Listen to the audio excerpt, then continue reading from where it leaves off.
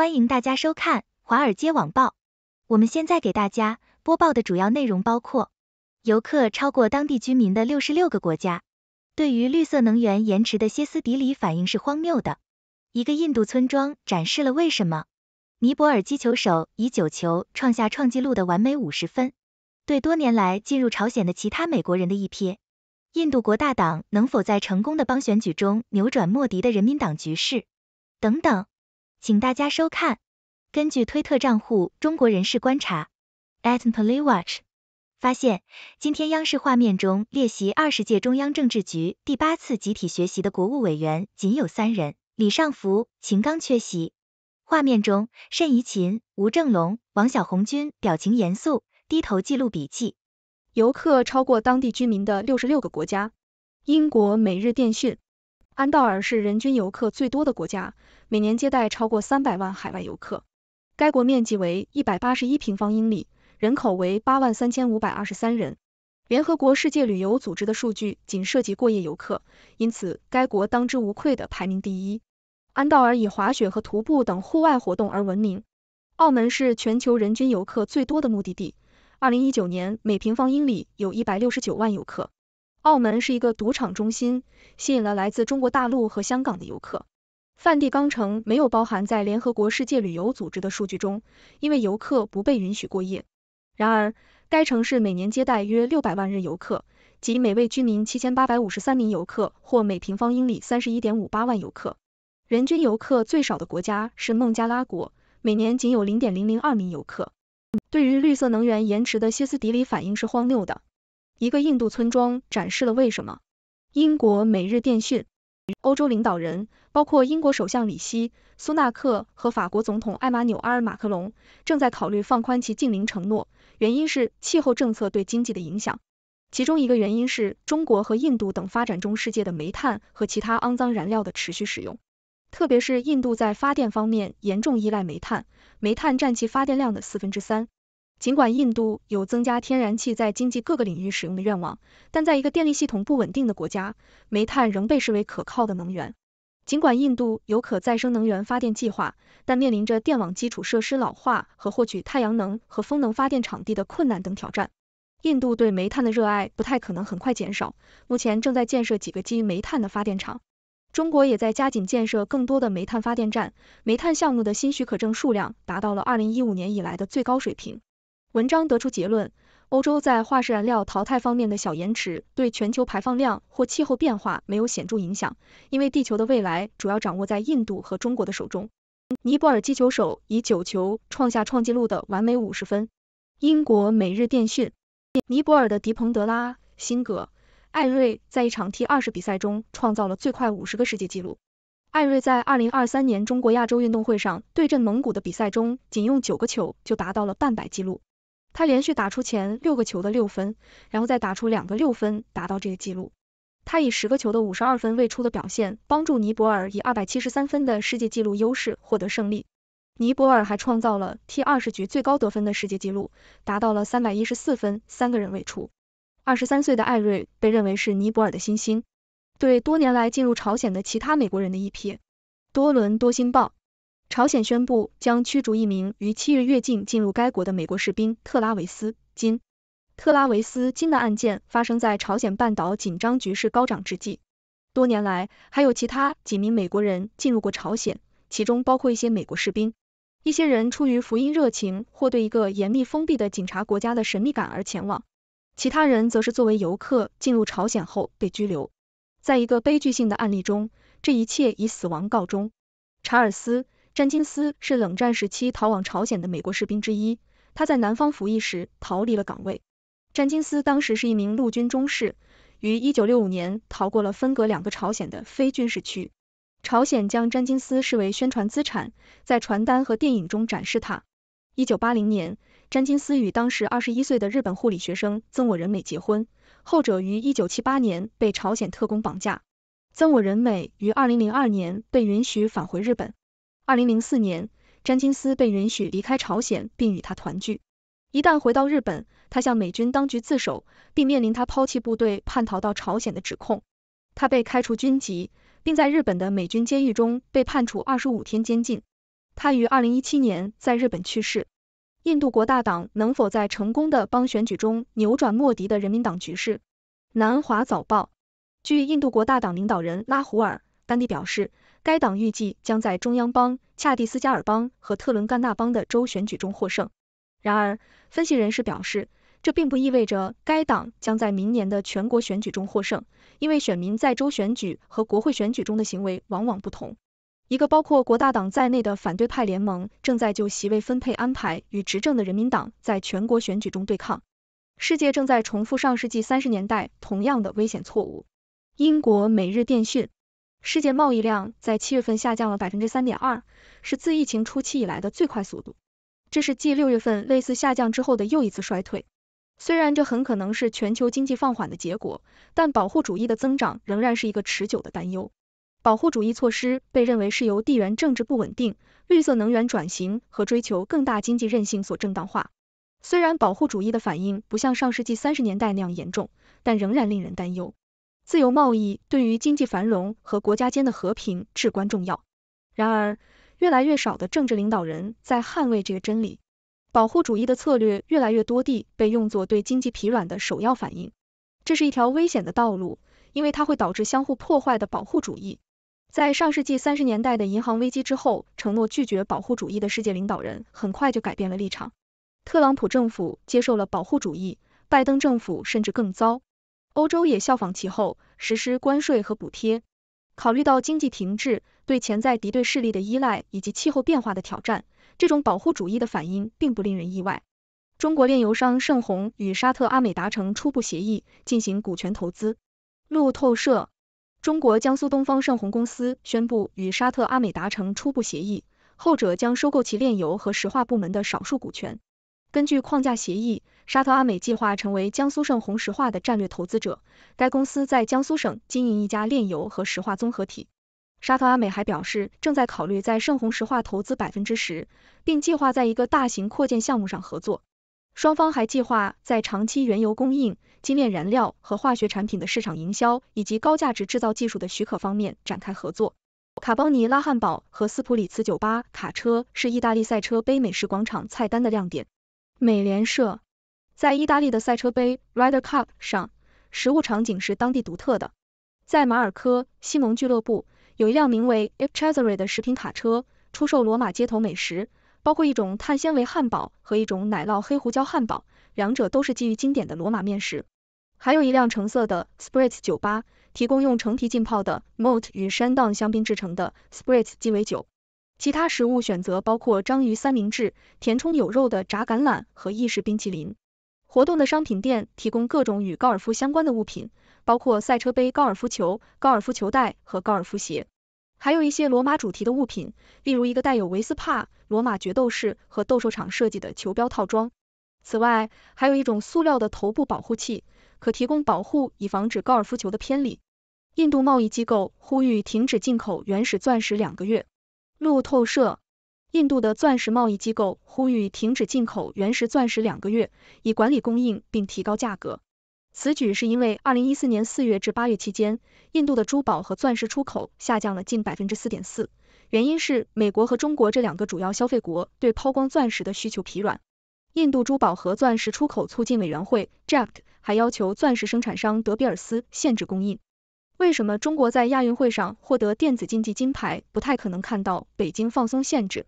南华早报：尽管中国在电子竞技方面取得了最近的成功，但该国对视频游戏的严厉立场不太可能改变。中国国家队在亚洲运动会上为该国赢得了首枚电子竞技金牌。尽管这一成就受到官方媒体的庆祝和赞扬。但中国玩家并不指望政府对游戏行业的严格监管政策发生变化。中国对十八岁以下玩家有三小时的游戏时间限制，并对该行业进行了监管打击。尽管最近有所放松，但玩家们并不指望有重大变化。俄罗斯可能会加入中国禁止日本海产品进口的行列。英国独立报：俄罗斯正在考虑与中国一起禁止从日本进口海产品，原因是担心福岛核电站释放的水污染了海产品。俄罗斯食品安全监管机构 Roskosnadzor 已与中国同行讨论了这个问题，并将在与日本的谈判后做出最终决定。中国实施了这项禁令，以回应日本将福岛核电站的水排放到海洋中。作为中国的主要海产品供应国，俄罗斯正在积极寻求扩大其在该地区的市场份额。今年迄今为止，俄罗斯已经进口了一百一十八吨日本海产品。联合国报告称，中国和日本的船运业是最严重的排放者。日经亚洲，中国和日本的航运公司是二氧化碳排放最严重的。联合国贸易和发展会议 UNCTAD 在一份年度报告中表示，报告指出，该行业占全球温室气体排放的近百分之三，必须尽快实现脱碳，并建议征收税款和财政贡献，以加速公正和公平的过渡。该行业在国际海事组织于七月份的会议上对其缺乏热情的气候承诺受到批评，一些活动人士指责日本和中国削弱了雄心壮志。香港的 Unity 集团与阿联酋公司合作成立绿色科技合资企业。南华早报，香港绿色能源服务公司 Unity Group 与总部位于阿布扎比的投资公司 Lead International Investment 成立了一家合资企业。Lead International Investment 由阿联酋创始人谢赫扎耶德本苏丹。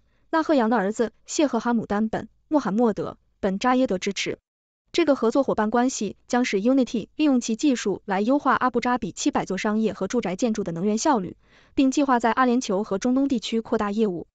朝鲜表示将驱逐逃离边境的美国士兵。纽约时报，朝鲜已将美国士兵特拉维斯 T 金 PVT Travis T King 驱逐出境，他于七月十八日越过朝韩边境逃入朝鲜。经过七十天的调查，朝鲜认定金士兵非法侵入其领土，并决定将其驱逐出境。朝鲜没有透露有关将金士兵驱逐的具体计划，包括是否将他通过非军事区送回韩国。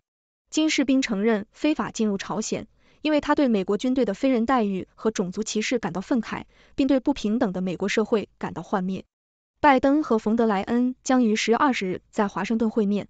彭博社。美国总统拜登和欧盟委员会主席沃尔苏拉·冯德莱恩预计将于十月二十日举行会议，宣布钢铁措施，以解决特朗普时代的贸易争端。会议可能会在华盛顿举行，欧盟峰会主席查尔斯·米歇尔也将出席。欧盟和美国已经在谈判全球可持续钢铁和铝业安排方面取得了进展，以解决钢铁产量过剩的问题，特别是来自中国的钢铁生产过剩问题。然而，关于如何解决碳过剩问题的讨论仍然具有挑战性，可能需要达成政治协议。印度尼西亚禁止在社交媒体上进行电子商务交易。日经亚洲，印度尼西亚已禁止在社交媒体平台上进行电子商务交易，包括 TikTok，以保护传统零售业和小企业。此举旨在确保公平竞争，保护线下商家，并保护用户的数据隐私。该规定还要求印度尼西亚的电子商务平台为从国外购买的某些物品设定最低价格为一百美元，并符合当地标准。TikTok 在印度尼西亚拥有1.25亿活跃阅读用户，将受到该禁令的最大影响，因为其模式依赖于社交电子商务。据报道，中国恒大董事长受到警方监视，清算风险迫在眉睫。加拿大环球邮报。据不愿透露姓名的消息人士称，恒大董事长许家人已被置于警方监视之下。此举是在开发商面临流动性危机和持续的清算威胁之际进行的。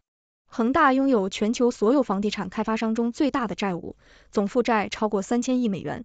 文章没有说明为什么许被监视，但表示这是一种警方行动，并不意味着他会被指控犯罪。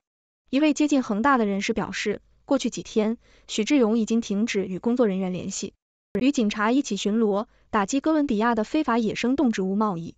卫报：哥伦比亚警方正在打击非法野生动物贸易，以拯救濒危物种并保护该国的生物多样性。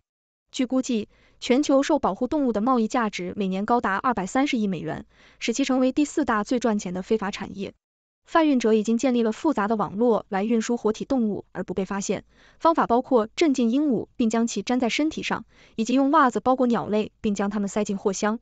对非法野生动植物产品的需求是由具有全球网络的犯罪集团推动的，因此国际合作对于打击贸易至关重要。哥伦比亚最近加强了监视工作，并发起了更多的反贩运行动，导致全国各地没收了数千只动物。然而，法律尚未跟上。贩运动物的最高刑期仅为五年。当地法官经常受到贿赂或社区关系的影响，经常抛出案件，阻止警察追捕人贩子。亲爱的观众朋友们，大家好，我是来自六度世界的六博士，是常驻六度简报的观察员。今天我给大家带来了一系列的新闻内容。首先，我们了解到游客超过当地居民的六十六个国家，其中包括安道尔、澳门和梵蒂冈城。看来旅游业真的是个大生意呀。不过，孟加拉国的游客似乎还是比较少，每年仅有零点零零二名游客。也许是因为大家都没有听说过这个国家呢。接下来，我们看到了关于绿色能源的讨论。一些国家的领导人考虑放宽禁令承诺。这可能是因为发展中国家如中国和印度仍在继续使用煤炭等肮脏燃料。尽管这些国家也有推动可再生能源发展的计划，但是面临着一些挑战，比如电网基础设施老化和获取可用的太阳能和风能发电场地的困难。总之，我们需要更多的努力来推动绿色能源的发展。在体育方面，尼泊尔的击球手迪彭德拉·辛格艾瑞在 T 二十比赛中创造了最快的五十个世界纪录。他用了仅仅九个球就达到了这个记录，真是太厉害了。而在印度国大党的邦选举中，他们取得了一些成功。不过，我们也要记住，邦选举和全国选举是不同的，所以这并不意味着他们在全国选举中一定会获胜。接下来是一些国际新闻。我们看到世界贸易量下降了，保护主义的增长仍然是一个持久的担忧。保护主义措施被认为是由地缘政治不稳定、绿色能源转型和追求更大经济韧性所正当化。然而，我们必须认识到，保护主义并不是解决经济问题的最佳途径，它可能会导致相互破坏的保护主义。我们应该保持对自由贸易的支持，因为它对于经济繁荣和国家间的和平至关重要。在能源领域，中国和沙特阿美达成了初步协议，进行股权投资。这将使中国的江苏东方盛虹公司能够利用沙特阿美的资源，并在炼油和石化领域展开合作。看来中国对外投资的步伐还是相当迅猛的呀。在意大利，赛车杯上的美食也是一大亮点。我们看到一些特色的汉堡和鸡尾酒出现在了比赛现场，真是让人垂涎欲滴呀。不过我们也要记住，这些美食只是比赛的一部分，不能一直吃下去哦。印度贸易机构呼吁停止进口原石钻石两个月，以管理供应并提高价格。这是为了应对美国和中国等主要消费国需求疲软的问题。看来这是一个保护本国市场的举措，但也要考虑到国际贸易的平衡哦。在电子竞技方面，中国国家队在亚洲运动会上获得了首枚金牌。虽然这是一项了不起的成就，但中国对视频游戏的限制政策不太可能改变。我们知道，中国对十八岁以下玩家有时间限制，并且对游戏行业进行了严格的监管，所以我们不要对政府对游戏行业的限制抱太大的期望。俄罗斯正在考虑与中国一起禁止从日本进口海产品，这是因为他们担心福岛核电站释放的水污染了海产品。作为中国的主要海产品供应国，俄罗斯希望扩大在该地区的市场份额，这也是国际合作的一个例子。当然，我们也希望能够找到更好的解决方案。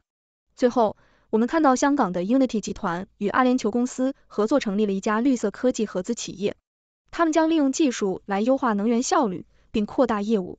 这是一个很好的合作伙伴关系，希望他们能够取得更多的成功。好了，以上就是今天的新闻内容。现在我邀请大家参与讨论，你们有什么样的想法呢？谢谢大家，谢谢您的收看。上面播报的内容是六度团队推荐的全球专业媒体、智库、政府机构和行业专家的最新报道、分析简报。更详细的内容，请大家去这些媒体、智库的网站阅读。这些内容并不一定反映六度简报的立场，亦不能作为任何决策的建议。六度团队由专业媒体人、学者、科学家组成的独立新型媒体，大家可以根据自己的专业要求订阅各种简报。网址是六度 brief 点 com。您在世界任何地方。都可以通过电邮收到六度简报。